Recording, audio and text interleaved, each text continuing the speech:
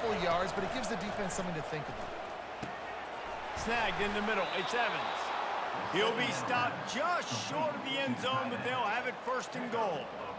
And that's why QBs love their tight ends so much, right? Especially when they're athletic, because they make short throws turn into long gains. Because of his ability after the catch, it's so unique and special. He is dominant in this offense.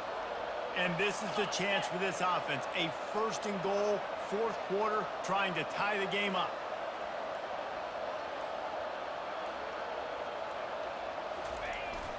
They're going to run it.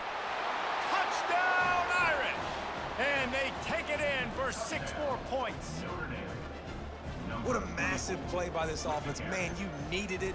Great execution. Now kick the extra point, tie this football game up late, or do you go for two? Do you go for the win? Do you try to take the lead? That is a you decision. So you think this is automatic?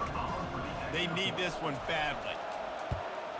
And the extra point was good, and we are all tied up in the fourth. Quick strike offense on that three-play scoring drive. And what a huge scoring extra point there to get it tied in the final minute. On the move from inside his five.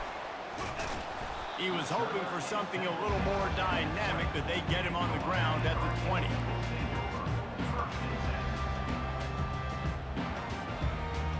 And here comes that Miami offense This one is about finding the balance between being aggressive and not being reckless, Jesse. The only way this thing works, though, if they're going to be aggressive, this offensive line has got to be able to hold up here for this QB. Yeah, because you need to take shots beyond the sticks so the clock will stop and you can save every second you have. So they'll try to salvage this drive on second and long from the 12. Looking for a man. It's Ward. And he can't find anyone open, and down he goes. A sack here late in the fourth. The defense uses a timeout, and we are down to 11 seconds left to play.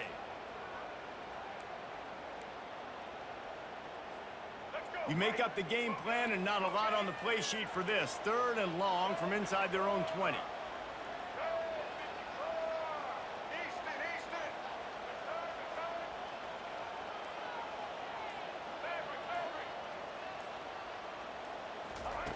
Looking to throw, and he needs a chunk play. Just when you were thinking overtime, they come up with a safety and take the lead. How about this play from this defense? The clock running down.